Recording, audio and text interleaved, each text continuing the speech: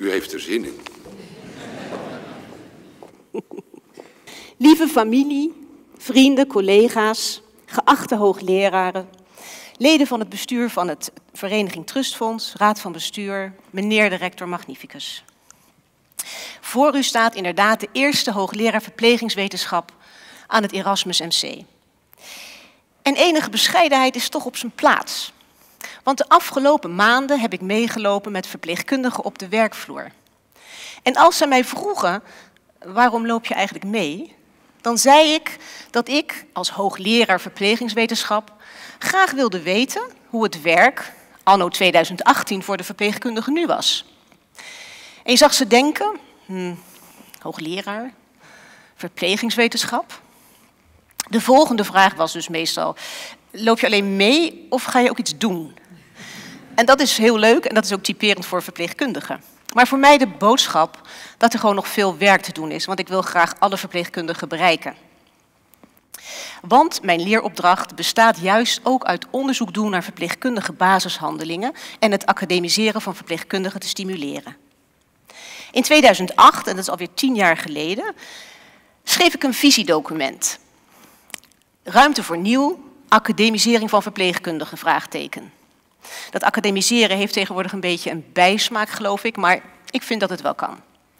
En tot mijn verrassing nodigde de toenmalige decaan, professor Pols, mij uit voor een gesprek. En dat was ook een heel leuk gesprek. En sindsdien is er inderdaad, zoals eh, de professor net al aanduidde, is er veel gedaan voor het stimuleren van het verpleegkundig onderzoek. Zoals inderdaad sinds 2010 de onderzoekssubsidie voor verpleegkundigen en door verpleegkundigen. Maar kijk, anno 2018 is ook een tijd van schaarste. En alleen al in ons Erasmus MC hebben we op dit moment ongeveer 135 vacatures voor verpleegkundigen. Dus ik vind het naast onderzoek en onderwijs mijn plicht om daar ook aandacht aan te besteden. Lof der verpleegkunst. Ik vind dat we trots mogen zijn op ons beroep. Het is een prachtig en divers beroep. En we kunnen een leven lang blijven leren. Ik vind ook dat er eigenlijk meer positieve aandacht voor dit beroep moet komen. En mede daarom hebben we vanochtend onze stichting Lof der Verpleegkunst gelanceerd. Met als ambities om het imago van het beroep te verbeteren, te versterken. Maar ook om jongeren te motiveren om voor dit beroep te kiezen. En dan denk ik met name aan de mannen onder ons en de verpleegkundigen, of hopelijk toekomstige verpleegkundigen, van bijvoorbeeld een Turkse eh, of Marokkaanse achtergrond. We willen daar dus ook onderzoek naar gaan doen om de beweegredenen te snappen waarom verpleegkundigen dat wel hebben gekozen met deze achtergrond. Zodat we misschien meer mensen voor dit beroep kunnen werven. We gaan jaarlijks ook de Lof der Verpleegkunst uh, lezing organiseren. En vanmorgen heeft Jane Booth de aftrap gegeven voor, dit, voor deze lezing. Ik ken haar uit Kaapstad, waar ze in het kinderziekenhuis al daar de Breed Easy programma heeft opgezet. En dat is een programma voor ouders om te leren zelf te zorgen voor hun kind met een tracheacanule. En dat is een vrij complexe zorg. Veel van de ouders daar hebben geen eens lagere school afgemaakt. En toch lukt het haar vanuit een positieve zogenaamde solution-focused approach om die ouders te leren om voor die canulezorg thuis zorg te dragen. En ik denk ook dat zij een voorbeeld is van verpleegkundig leiderschap. En daarmee bedoel ik dat zij niet alleen hoofd is en aan het hoofd staat van een multidisciplinair team, maar ook is zij heel zichtbaar op de werkvloer en geeft ze ook heel veel onderwijs over haar methode van het versimpelen van dit soort complexe handelingen voor ouders. Ik ben ook ontzettend blij dat ze hier in de zaal zit. En toen ik in 1978, het al vreselijk lang geleden, begon met de in-service opleiding A, leerde ik onder andere om doorlichtplekken, decubitus, te verplegen en te behandelen met ijsklontjes en feunen. Dat hield dus in dat je afwisselend een ijsklontje op de wond deed, daarna weer feunde enzovoort. Mij was verteld dat dat hielp om de bloeddoorstroming te stimuleren en ik nam dat klakkeloos aan en ik deed dit soort handelingen constant. Toen kwam er in 2008 een rapport van de toenmalige uh, uh, beroepsvereniging, de LEVV. En dat rapport heette doorbreek de rituelen. En een ritueel is eigenlijk ja, een algemeen aanvaarde, routinematige handeling, maar die niet helemaal niet gebaseerd is op enige bewijs of enig wetenschappelijk onderzoek, maar dus gewoon gebaseerd op gewoontes. En het bleek dus eigenlijk dat ik zelf heel veel van dat soort handelingen deed in die tijd. Uit dat, dat verpleegkundige protocol bleek dus ook dat dat ijzen en feunen wat ik zo lang had gedaan eigenlijk alleen maar meer kwaad dan goed deed. En het bijzondere is nu dat vorig jaar in 2017 drie belangrijke instituten weer met een aantal zorghandelingen kwamen, gepubliceerd, heeft veel aandacht gekregen, die laten zien dat we die beter kunnen laten, terwijl ze we nog steeds doen. En het is natuurlijk heel belangrijk met de schaarste om te voorkomen dat we handelingen uitvoeren waar we niets aan hebben, die niet efficiënt zijn. Het blijkt dus dat we het heel lastig vinden in de zorg om te stoppen met rituelen. Maar nu denk ik dat het vandaag de dag tijd is voor evidence-based practice. En dat betekent dat we wel werken met het best, liefst wetenschappelijke bewijs wat er is, maar ook gebruik maken natuurlijk van de kennis en ervaring die we hebben en de waarde en de voorkeur voor de patiënt. Als ik op die manier had gewerkt zoveel jaar geleden, had ik misschien toen al beseft dat dat ijzen en feunen echt niet zinvol was geweest. In dit figuur kunt u ongeveer zien wat wij de komende jaren als vakgroep aan onderzoek willen doen. Er zijn drie thema's in ieder geval. De eerste gaat over verpleegkundige zorg. En dan kunt u denken aan het onderzoek wat ik bijvoorbeeld gedaan heb naar pijnmeting. Maar ook aan basiszorg, zoals goede mondzorg geven aan onze patiënten. Samen de regie, het is een term die wij tegenwoordig gebruiken voor een, een aanpak die patiëntgericht is. En daar kom ik later op terug. En de derde gaat over patiëntveiligheid. We kunnen nog steeds dingen doen. Denk aan medicatiefouten of aan valincidentie, valincidentie bij onze oudere patiënten. Daar valt nog veel aan te verbeteren.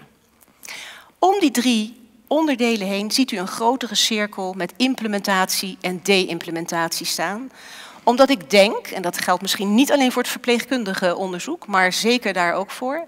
Ik denk dat het heel belangrijk is om steeds te kijken of we de onderzoeksresultaten en dergelijke, of we die wel goed in de praktijk hebben geïmplementeerd.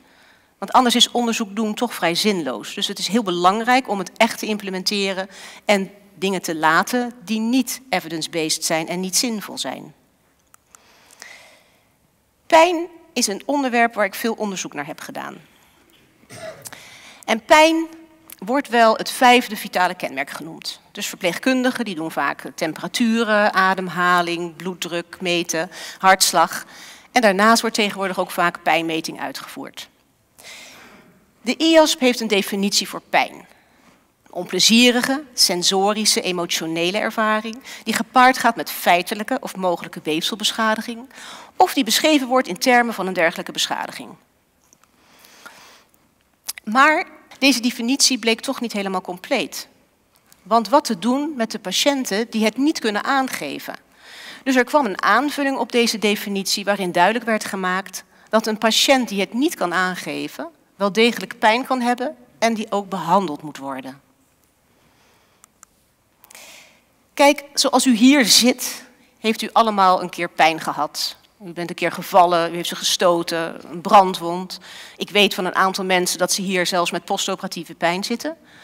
En het is ook zo dat ongeveer 18% van de Nederlandse bevolking ook in meer of mindere mate lijdt aan chronische pijn. Dus ik denk dat het veel voorkomt. Maar ik denk niet dat u in stilte lijdt. En ik denk dat als u zich stoot, dat u het goed kenbaar weet te maken. En dat is natuurlijk niet voor alle patiëntengroepen het geval. Niet iedereen kan zijn omgeving duidelijk maken dat hij pijn heeft. Welke patiëntengroepen kunnen dit nu niet? Dat begint bij de groep uh, premature pasgeborenen. In het Erasmus MC Sophia op de IC Neonatologie worden kinderen behandeld vanaf 24 weken zwangerschapsduur. En het is nu eenmaal zo dat de behandeling die we ze moeten geven ook vaak gepaard gaat met pijn. Maar je kunt zich voorstellen hoe moeilijk het is om dan te bepalen of een kind pijn heeft. Kinderen met een verstandelijke beperking en ouderen met een verstandelijke beperking kunnen het ook vaak niet goed aangeven. Ouderen met een uitingsbeperking, zoals mensen met afasie of ouderen met dementie. Zijn ook vaak niet in staat. En daarnaast hebben we nog de mensen die aan het overlijden zijn in hospices en die vaak wel een verminderd bewustzijn hebben, maar wel degelijk pijn kunnen hebben. Voor al deze groepen hebben wij pijnmeetinstrumenten ontwikkeld en gevalideerd.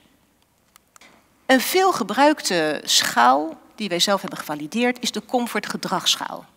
En die hebben we ontwikkeld voor baby's en kinderen tot drie jaar op de kinder-IC en daarbuiten. Het is namelijk zo dat door de kinderen soms aangeboren afwijkingen hebben, dat ze op vroege leeftijd een operatie bijvoorbeeld nodig hebben. Vandaar dat het relevant is om de mate van pijn te meten. Dit doen we op deze schaal. We kijken namelijk naar een aantal gedragingen. Het idee is dat de verpleegkundige twee minuten de patiënt observeert en dan deze gedragingen scoort op een score van 1 tot 5. Waarbij een hogere score betekent dat er een groter risico is dat er sprake is van pijn. Een van die aspecten is alertheid. Lukt het voor het kind om in diepe slaap te zijn of te slapen? Of is een kind wakker of zelfs hyperalert? Kalmte agitatie. Is een kind volledig kalm of zie je dat er lichte angst is tot aan agitatie en paniek? We kijken ook naar huilen bij de kinderen die niet aan de beademing liggen. En huilen kan variëren van een kind huilt niet tot het kind krijst.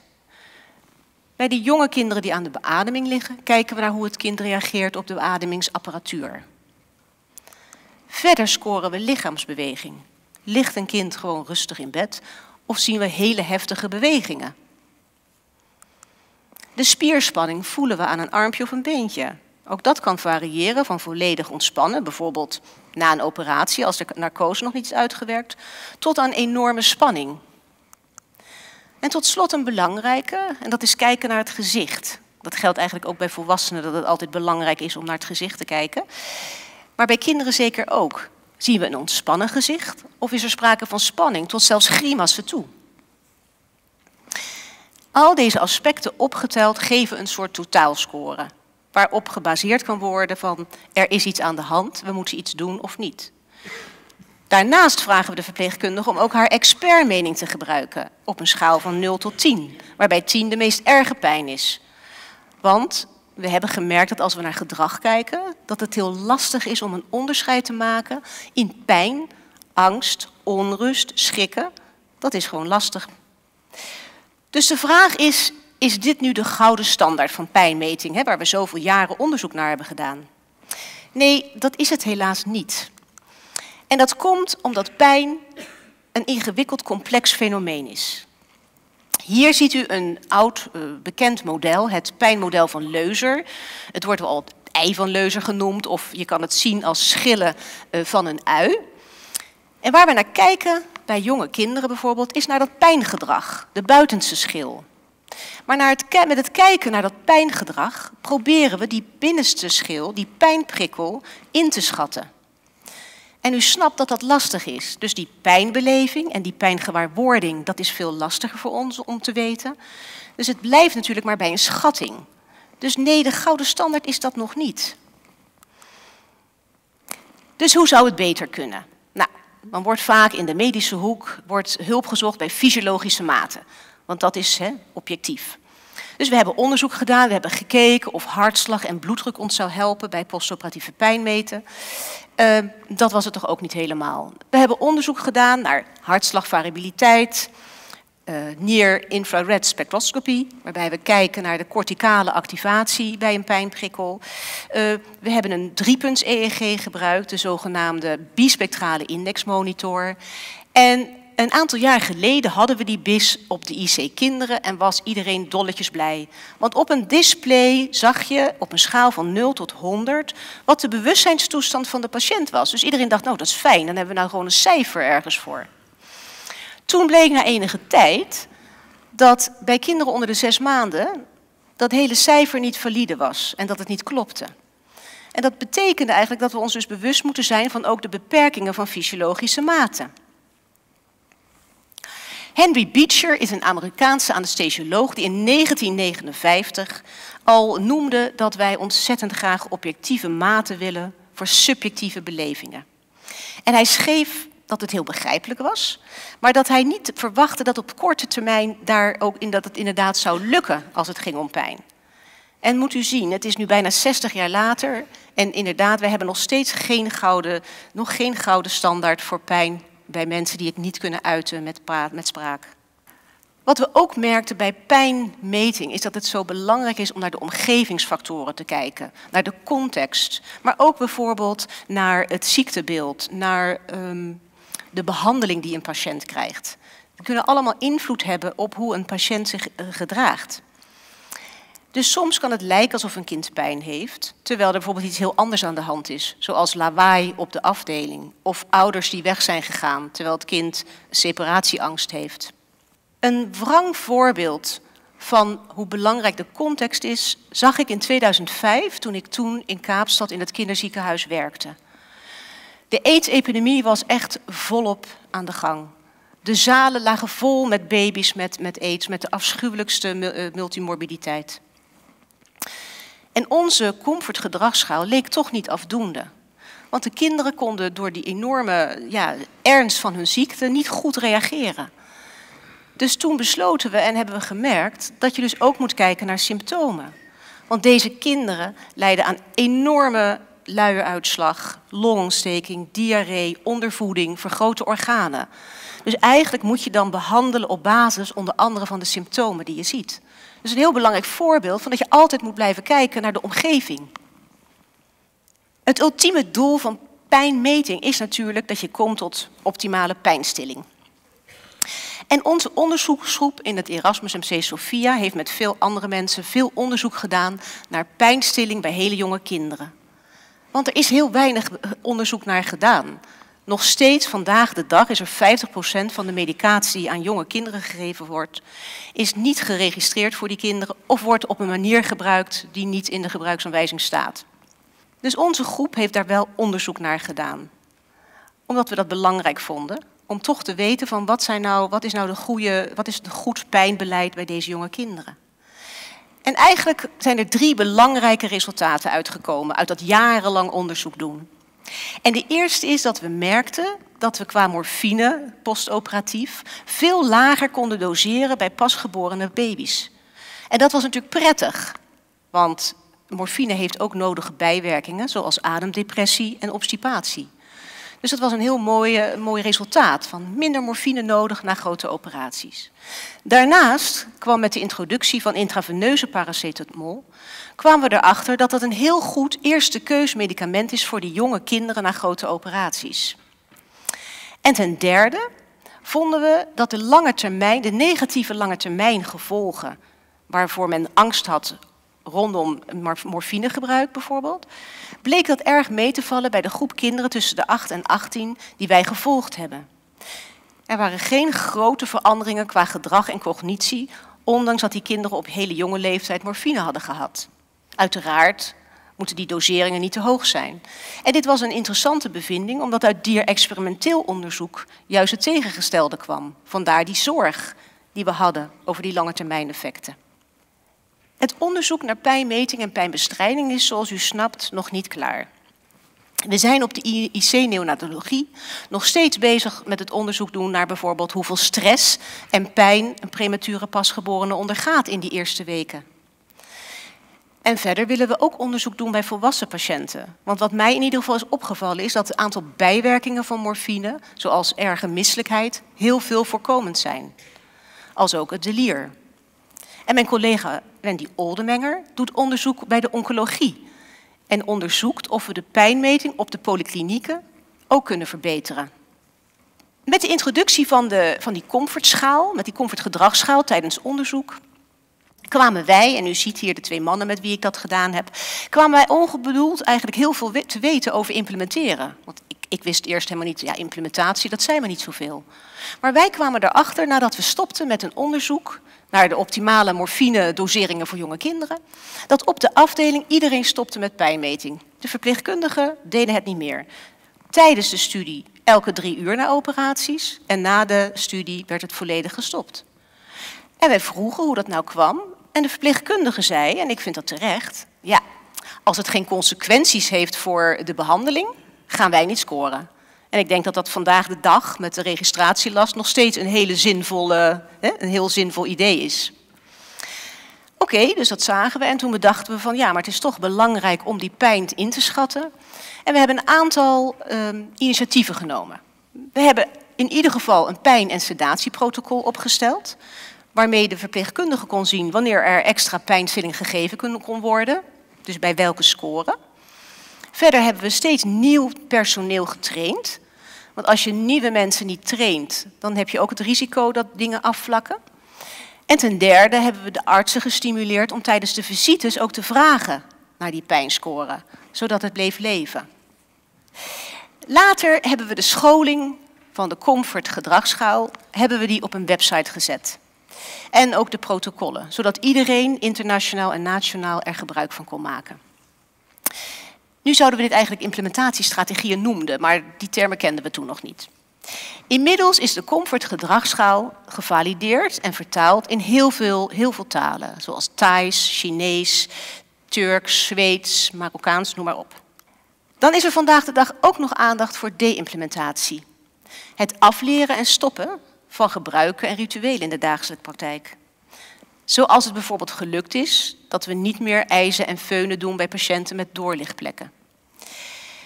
Maar die gebruiken zijn hardnekkig. En heel vaak wordt er gezegd, zo doen we het hier al jaren. En dat blijf je tot op de dag van vandaag nog horen. Wat is nu de top drie van mijn ervaringen met implementatie tot nu, tot nu toe? Allereerst eigenaarschap. Het is enorm belangrijk om iemand of een groep op een afdeling te hebben die zich verantwoordelijk voelt, en liefst ook met enthousiasme, zich verantwoordelijk voelt om iets nieuws, een protocol of een nieuw onderzoeksresultaat of een werkwijze te implementeren. Ik denk dat dat cruciaal is. Het tweede is cultuur. We moeten altijd oog hebben voor de cultuur waarin we werken. Kijk, in Nederland zijn we natuurlijk een beetje aan het polderen altijd en is het niet makkelijk om iets nieuws te implementeren of te introduceren, want iedereen heeft een mening. Ik was in Praag en ik vertelde daar dat ik dacht dat ze hun pijnmeting misschien iets beter op een andere manier konden doen. En toen ik de volgende dag kwam, hadden ze het ook al gelijk gedaan. Dus ik was natuurlijk in shock. Dat was ik helemaal niet gewend. Dus cultuur is ook belangrijk om in rekening mee te houden. En tot slot, kijk, er zijn altijd een paar mensen anti-alles. En volgens mij is het gewoon handig om te proberen ze als advocaat van de duivel te betrekken jij bent altijd zo lekker kritisch. Of gewoon erin te berusten dat die mensen er zijn en je er niet te druk om te maken. Maar nu iets heel actueels. Over een maand gaan we verhuizen naar een prachtig nieuw ziekenhuis. Het staat naast het oude ziekenhuis. Met 100% eenpersoonskamers voor de patiënten. En de raad van bestuur heeft collega's van mij en mijzelf geld gegeven om dit goed te onderzoeken. Professor Greet Vos gaat onderzoek doen naar de infecties, naar de ziekenhuisinfecties. En zij wil kijken of die nieuwbouw nou leidt, ertoe leidt dat we minder ziekenhuisinfecties hebben. Lisbeth van Heel, die ondertussen al 18 jaar bezig is met die nieuwbouw, echt bewonderenswaardig, die gaat kijken wat die architectuur en die healing environment die geprobeerd wordt te creëren doet voor de patiënten. Zelf ben ik verantwoordelijk voor het onderzoek naar wat de effecten zijn van die nieuwbouw voor de patiënt, de patiëntveiligheid en de verpleegkundigen en artsen. Kijk, voor de patiënt is het natuurlijk heerlijk dat er meer privacy is. Maar het bijzondere is dat een studie in Engeland liet zien dat toch een kwart van de patiënten zich geïsoleerd voelde en een beetje eenzaam. Dus het is goed om dat in ogenschouw te nemen, om te kijken of we daar door bepaalde veranderingen in de werkprocessen iets aan kunnen doen. U ziet hier een prachtig meubel. En dat meubel is bedoeld zodat familie kan blijven slapen. En dat heet rooming in. En dat rooming in is eigenlijk in de literatuur vooral onderzocht bij ouders die bij hun kind blijven slapen. Of uh, pasgeborenen met hun moeder. Maar niet zozeer bij volwassenen. En dat is toch interessant, want je wilt eigenlijk toch weten hoe dat is voor de patiënt en de familie en, het, en de verpleegkundige. Hoe is dat als iemand 24 uur per dag bij de patiënt is? Daar doen we nu ook onderzoek naar om dat uit te zoeken. Verder is het belangrijk om natuurlijk, waar ik het al eerder over had, te kijken naar de valrisico's. We hebben goed in kaart kunnen brengen hoeveel valincidenten er nu zijn in het ziekenhuis en in welke omstandigheden dat gebeurt. En ik denk dat het ook belangrijk is om dat dus te blijven evalueren in die nieuwbouw. De vrijheidsbeperkende interventies die helaas soms nodig zijn, is ook een onderwerp waar we naar moeten kijken. Hoe, hoe dat straks is. Eén ding is zeker. We doen nu onderzoek bij patiënten in de oudbouw met vierpersoonskamers. En we doen daar onderzoek naar de slaapkwaliteit. Dus de patiënt heeft een activiteitshorloge om en vult slaapvragenlijsten in. En ik kan u vertellen, maar ik denk dat u dat zelf ook heeft meegemaakt als u wel eens op een meerpersoonskamer heeft gelegen, dat die patiënten echt heel slecht slapen. Dus dat is in ieder geval een groot voordeel van de eenpersoonskamer straks. Voor die zorgprofessionals zal het ook heel erg wennen zijn. Hoe is dat voor de samenwerking, voor het teamgevoel, de werkbeleving? Moeten de verpleegkundigen straks inderdaad langere afstanden lopen? Nou, dat kunnen we goed onderzoeken nu. We hebben de verpleegkundigen nu toegerust met stappentellers. En dat gaan we straks ook doen. En ik moet u zeggen dat de verpleegkundigen dat wel het leukste eh, onderwerp vinden van ons onderzoek. Dan het shadowen. Kijk, we waren ook benieuwd, en dat komt ook een beetje doordat ik zelf uh, meegelopen heb met verpleegkundigen. En je soms denkt, ik heb het heel druk gehad, maar wat heb ik nou eigenlijk heel de ochtend gedaan? Daarom dachten we dat we ook de, de verpleegkundigen willen shadowen. Dus we hebben een iPad ontwikkeld waarop een student die meeloopt precies kan registreren wat de verpleegkundige doet. Is ze bezig met de patiëntenzorg, uh, met medicatievoorbereiding of is ze aan het registreren? Dan kunnen we ook gelijk zien hoe groot is de registratielast in het ziekenhuis. En we kunnen zien in hoeverre ze aan het multitasken is. Want we kunnen tegelijkertijd dat allemaal bijhouden op die iPad. Dus dat wordt interessant, dat shadowen. Want dat geeft ons inzicht in hoe gaat het werken nu? Kan het efficiënter? En hoe is het straks in de nieuwbouw? En wat ook natuurlijk gaat veranderen in de nieuwbouw, is dat het mogelijk is voor verpleegkundigen om de overdracht aan bed te doen. En dat geldt ook voor de artsenvisites. Die kunnen nu volledig aan bed, want we hebben geen uh, problemen met privacy. We kunnen aan bed de artsenvisites doen. En dat betekent natuurlijk dat misschien de arts en de verpleegkundige nog meer moet gaan samenwerken met die patiënt. Want de patiënt wordt natuurlijk assertiever en misschien is er ook een naaste bij. En dat brengt mij eigenlijk op het volgende onderwerp. Patiëntgerichte zorg. Patient and family-centered care. Waardegedreven zorg. Value-based healthcare. Patiënt prominent. Samen de regie. Ja, het is echt waar. Dat zijn allemaal termen voor eigenlijk iets wat natuurlijk heel logisch moet zijn. Want het betekent dat de patiënt ja, voorop staat, dat die het belangrijkste is. Dus ja, hoe komt het nou dat we er elke keer nieuwe termen voor nodig hebben, terwijl het zo evident lijkt? Ik denk wat ook wel ingewikkeld is, is dat du moment dat iemand een pyjama aandoet en in bed ligt, en er een hele wijze man aan het bed staat met een witte jas, ik zit het even een beetje te chargeren, dat het natuurlijk heel moeilijk is om niet in een hiërarchische relatie te komen. Dus het wordt de uitdaging om met elkaar echt samen te werken. Ik denk ook trouwens dat eh, we hebben de afgelopen jaren eh, de cliëntenraad en ik denk dat het ook een hele erg grote meerwaarde is om de cliëntenraad te betrekken bij al onze beslissingen. Dan kom ik op een ander concept van patiëntgericht werken en dat is de value-based healthcare. En in het Nederlands noemen we dat waardegedreven zorg. En professor Jan Hazelzet is bij ons in, in, in het Erasmus MC degene die daar de lead in neemt en die daar al heel veel aan heeft gedaan. Die value-based healthcare, of ik moet eigenlijk zeggen waardegedreven zorg, gaat over eigenlijk een, een optimale combinatie van zorguitkomsten en kosten. Er komt meer nadruk op wat de patiënt belangrijk vindt. En vandaar dat er ook um, vragenlijsten bij die patiënten worden afgenomen. Als voorbeeld, als iemand een wondinfectie heeft, dan is die wondinfectie natuurlijk belangrijk. Maar het gaat dan ook om de mate waarin die patiënt daar last van heeft. En dat structureel meten van die uitkomsten die voor de patiënt belangrijk zijn, met behulp van officieel afgesproken vragenlijsten, maakt het mogelijk om zorgaanbieders te vergelijken en zo goed te worden als de beste zorgaanbieder. En aan de hand van die vragenlijsten kunnen we de patiënt ook doelbewust vragen wat die belangrijk vindt. En het mooie is nu eigenlijk dat uh, naast die waardegedreven zorg ook in de verpleegkunde, dus in de, bijvoorbeeld op de HBO's, zelfmanagement heel veel aandacht krijgt. Dus, dus verpleegkundigen worden opgeleid om patiënten zelf keuzes te laten maken. Bijvoorbeeld, als we denken aan zelfmanagementvaardigheden, van de, gaat het dan vooral bijvoorbeeld om de chronische patiënt. De onderzoeksgroep van lector Anneloes van Sta van de Hogeschool Rotterdam heeft daar heel erg veel onderzoek naar gedaan en ook een heel mooi boek over geschreven. En hier ziet u het zelfmanagement web.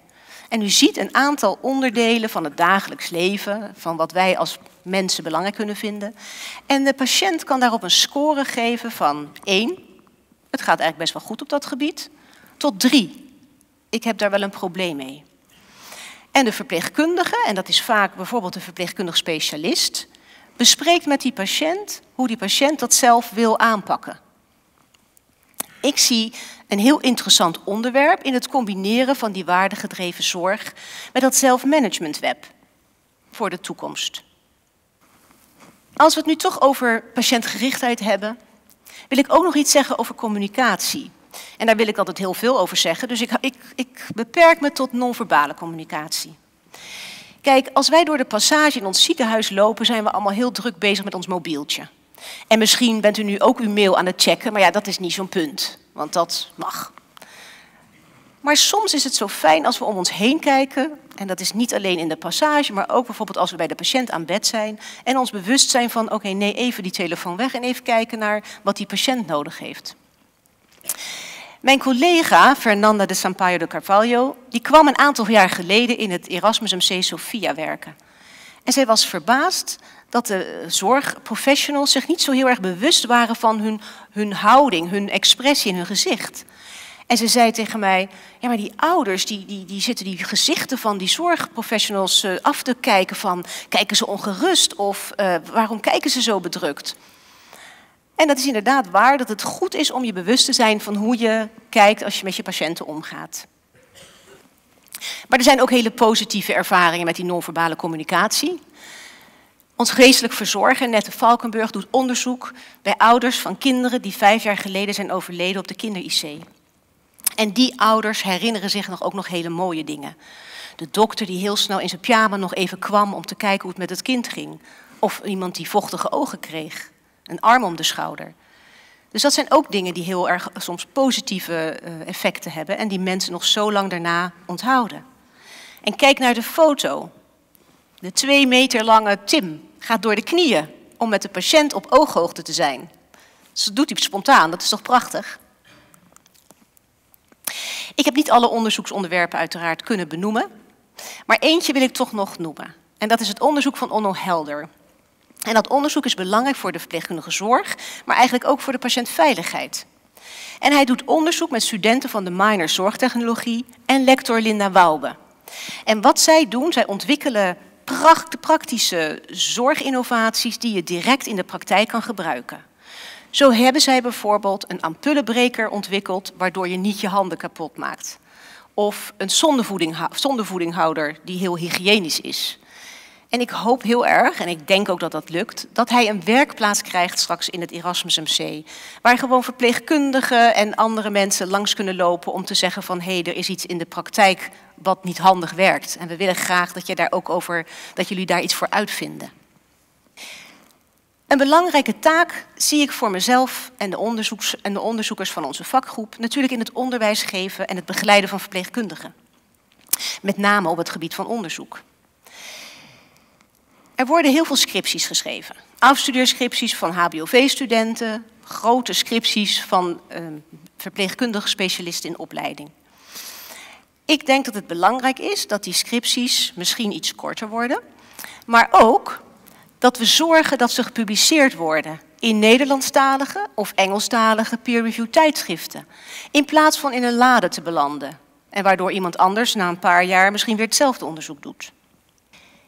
En ik denk dat dat mogelijk is, dat we dat kunnen verbeteren door afgestudeerde verpleegkundige specialisten, maar ook gemotiveerde HBO-verpleegkundigen, een researchcursus aan te bieden.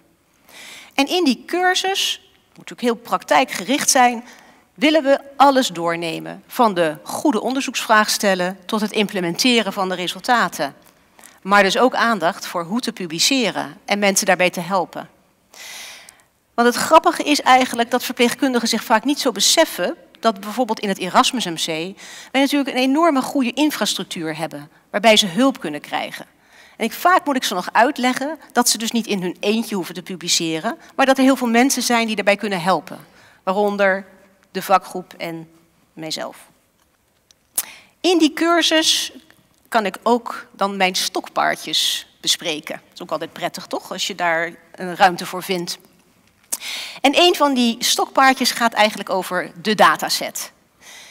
Kijk, ik denk, je hoeft geen statisticus te zijn om heel goed naar de data te kijken die je verzameld hebt. En ik denk nu misschien vooral aan kwantitatieve data.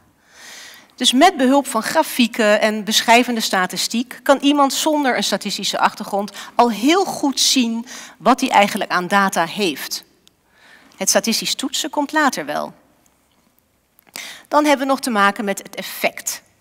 Kijk, jonge onderzoekers willen altijd heel graag statistisch significante uh, resultaten en dan liefst ook in de Lancet publiceren.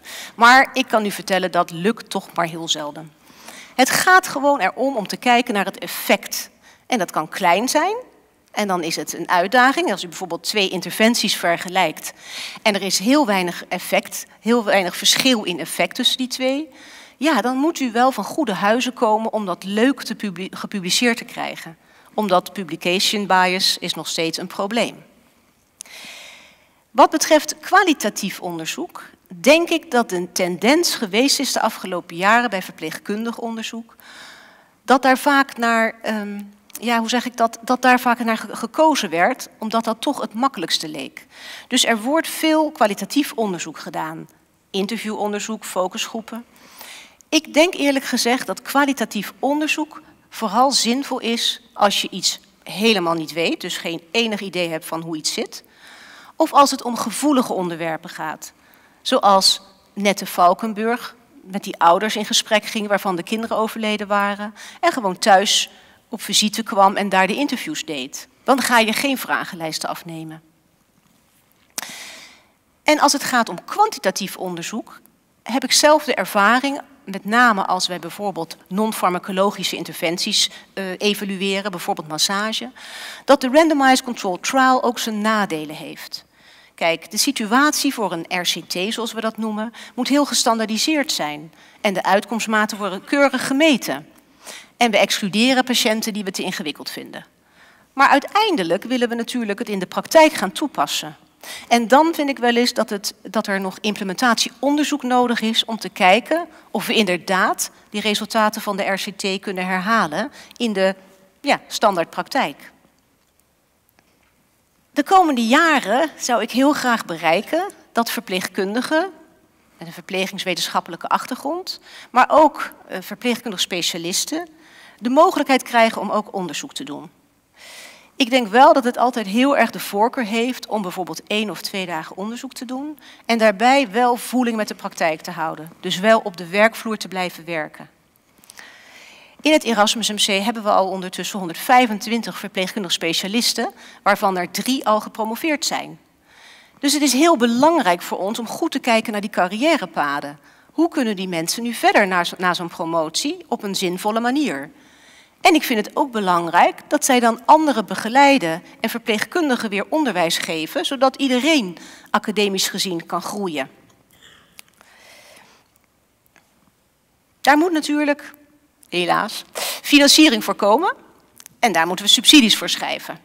En dat realiseer ik me en dat zie ik ook als een van mijn taken. En ik vind het wel geweldig dat wij in het Erasmus MC het Research Development Office hebben, en ik kan u zeggen, als, ik, als het dan niet lukt om een subsidie te krijgen, dan is er echt iets mis, want het is een hele goede actieve groep. Dus daar hoop ik de komende jaren echt met hun samen subsidies binnen te kunnen halen. Verpleegkundig leiderschap. U ziet hier een afbeelding van een boek, wat met name uh, door onder andere uh, Hester Vermeulen en Pieter Bas Lalleman is, uh, waren editors ervan, redactieleden. Uh, met een aantal mensen hebben we hier aan geschreven. En het gaat natuurlijk niet over dat we allemaal managers moeten worden. Daar zitten we niet op te wachten. Maar het gaat over verpleegkundige leiderschap. En het gaat ook onder andere over het uh, mondiger worden van de verpleegkundige. Kijk, bescheidenheid is heel mooi. Maar het risico daarvan, de valkuil, is natuurlijk dat je onzichtbaar wordt. En ik denk dat verpleegkundigen uh, toch meer, iets meer uh, initiatief moeten gaan tonen. En dat bijvoorbeeld ook moeten proberen om onderzoek te doen samen met artsen en andere disciplines. Hier ziet u een grafiek die vorig jaar, een, er is een meting geweest van onze verpleegkundigen in het Erasmus MC. Van de ongeveer 2200 verpleegkundigen in het Erasmus MC is nog maar een heel klein deel man. De, in de leeftijdsgroep onder de, onder de 30 jaar is dat maar 8 procent. En gewoonlijk zijn we natuurlijk heel erg voor om meer, vrouwen overal voor te krijgen. Maar in dit geval denk ik dat we, dat het ook baat zouden hebben bij meer mannen. U ziet ook dat we heel veel vrouwen van uh, 50 plus hebben in de verpleging. En ik denk dat het dus ook heel belangrijk is om te zorgen dat deze mensen hun werk kunnen doen en dat we ook gebruik maken van de expertise die ze hebben. En wat betreft de schaarste. Kijk, ik denk dat we die nieuwe HBO- en MBO-studenten van harte welkom moeten heten. Een recente studie van Yvonne ten Hoeven laat zien dat 45% van de eerste tweede, tweedejaars HBOV-verpleegkundigen in Groningen afhaakt. En ze noemen vaak dat dat komt omdat ze zich niet echt welkom voelen op de werkvloer. En omdat wat zij leren op school niet overeenkomt met de praktijk. Dus ik denk dat het heel belangrijk is voor ons om die mensen wel welkom te heten. En dat vind ik een, een, een belangrijk iets voor mij als hoogleraar, maar ook voor de managers en andere betrokkenen. Ook voor verpleegkundigen geldt een leven lang leren. Net zoals ik weer meeloop op de werkvloer en merk dat het ook hard nodig is om echt uh, te snappen waar het om gaat. En ik denk dat leven lang leren, leren zie je ook aan de twee derde van de verpleegkundigen in ons ziekenhuis die een vervolgopleiding hebben gedaan na de initiële opleiding. In Nederland kunnen we ons verheugen op een exponentiële groei in verpleegkundige hoogleraren. Nou ja, het zijn 13 stuks. Um, dus misschien goed om dit getal kwijt te raken. Um, maar het mooie is dat we met elkaar aan één tafel kunnen overleggen. En het is onze ambitie om samen als hoogleraren een onderzoeksagenda op te stellen. En dat is voor de komende jaren. En niet alleen voor het ziekenhuis, maar ook voor de wijkzorg, de geestelijke gezondheidszorg en verpleeghuiszorg. U ziet hier mijn supergrote vakgroep. Uh, dat is voor iemand die vanaf 1 juni gestart is, vind ik best, uh, best veel mensen. Dus daar gaan we echt ook heel veel mee bereiken de komende jaren, denk ik. En ook uh, zult u zien dat we die onderzoekspijlers verder gaan uitbreiden. Tot slot. De moderne Florence Nightingale bestaat volgens mij. U ziet hier Yesenia en Tim, twee verpleegkundigen uit het Erasmus MC. Die allebei met heel veel compassie werken maar tegelijkertijd ook proberen om die kwaliteit van zorg te verbeteren. De een misschien met onderzoek, de andere met het implementeren van evidence-based richtlijnen. Van grote waarde voor mij is dat in het Erasmus MC veel van zulke verpleegkundigen zijn. Lof der verpleegkunst staat voor mij naast lof der geneeskunst en zijn allebei belangrijk. Ik hoop dat ik in mijn rol als hoogleraar verplegingswetenschap wetenschap en empathie kan laten samenkomen, zodat ik het beste uit mezelf en anderen kan halen. Ik heb gezegd,